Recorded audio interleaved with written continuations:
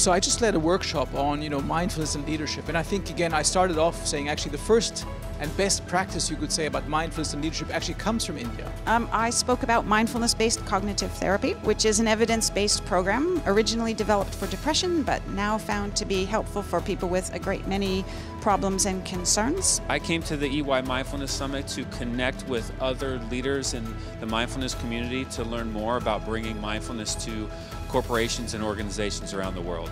It is my first time here in India and I'm enjoying very much this event here. It's uh, been amazing. It's been an amazing experience for me. I'm learning a lot from everyone, from all the audience. It's it's spectacular. I was I'm really really impressed. I think this is a very important summit for our day and age where we need to bring back the focus on being happy, mental well-being, quality of life. Here on the behest of Manish and Shalini, they're good friends and they wanted me over.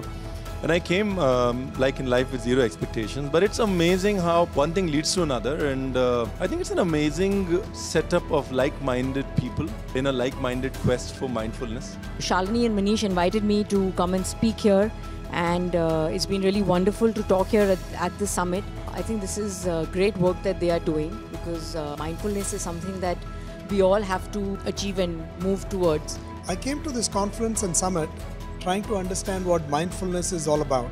It's an amazing place because it has a composition of people from all walks of life who are into mindfulness. So we have people who are practitioners, we have people who are the experts. I saw a, a number of monks who were walking by, Buddhist monks, and I, I also was very curious because you have a lot of people who have come in from overseas because they believe that they can learn at the summit and also contribute to it. I was invited uh, to the Mindfulness Summit to be part of a panel which represents the view of how mindfulness is perceived within corporates and how is it relevant for creativity and innovation.